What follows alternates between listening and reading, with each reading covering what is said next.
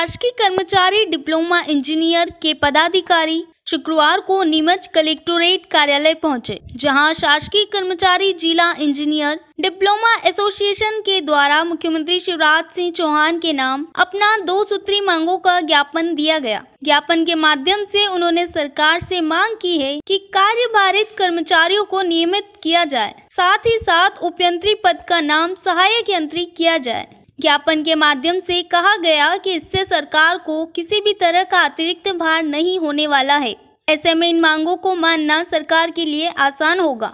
Association ने जल्द से जल्द मांग को मानने की बात कही और ज्ञापन तहसीलदार पिंकी साठे को दिया गया है।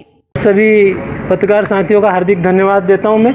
डिप्लोमा इंजीनियर्स एसोसिएशन प्रांतीय नेतृत्व श्री राजेंद्र सिंह जी भदौरिया हमारे प्रांताध्यक्ष हैं। उनके नेतृत्व में उनके मार्गनिर्देशन में हमें ये आदेश हुआ था कि हमारी दो सूत्री जो मांग है जो अनार्थिक मांग है जिनसे शासन को आर्थिक किसी भी प्रकार की दबाव या प्रभाव नहीं होगा, उनके संदर्भ में आज हम ज्ञापन देने के लिए प्रोटोना, में, कोरोना के प्रोटोकॉल के तहत सिर्फ़ सीमित संख्या में पाँच लोगों ने लोगों के साथ उपस्थित हुए मेरे साथियों के साथ। और इसमें पहली मांग जो हमारी कार्यभारित कर्मचारी जो वर्षों से कार्यभारित कर्मचारी के रूप में कार्य कर रहे हैं। उनको नियमित करने संबंधी है।